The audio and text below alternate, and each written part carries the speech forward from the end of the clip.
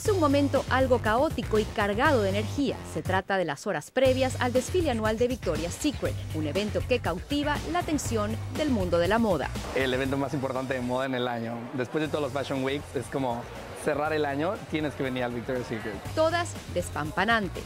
Algunas son caras nuevas. Estoy tan nerviosa y emocionada al mismo tiempo. Este show es mi sueño más grande. Vestiré un corsé. Me encanta, muy romántico, todo rosa. Me encanta, me hace sentir como Barbie. Otras son verdaderas veteranas de la pasarela. Es el octavo desfile de la checa Carolina Kurkova y sin embargo cuenta que este tiene un significado especial. Tuve a mi hijo hace un año, es muy especial. Lo hago por mi hijo, por mis fans que estaban ansiosos porque regresara al show. Adoro a mi hijo, pero es importante hacer algo para ti, para mantener la adrenalina en alto y sentirte sexy además de divertirte.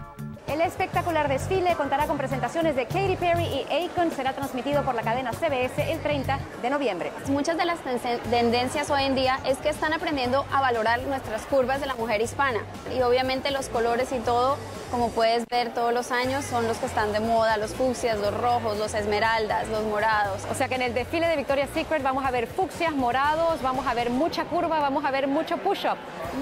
Todo lo que nos ayude a ser toda una ángel en tu casa, por supuesto que sí. Y para añadir más destellos a la noche no podía faltar este brasier cubierto en 60 quilates de diamantes, 82 quilates de zafiro, oro y topacio. Lo modelará la modelo brasileña Adriana Lima. Es un espectacular diseño de Damiani valorado en 2 millones de dólares. El diseño está inspirado en una constelación de estrellas. Nos cuenta la vicepresidenta del Imperio Damiani la importancia que tiene para esta reconocida joyería ser parte tan importante de este desfile. Porque la, marca de Victoria's Secret es muy amada para la mujer. Eh, para nosotros de asociarse con una marca que las mujeres aman es la misma cosa que hacemos nosotros. Y hasta el más pequeño detalle ha sido atendido. ¿Cuánta atención se le presta a las manos y los pies?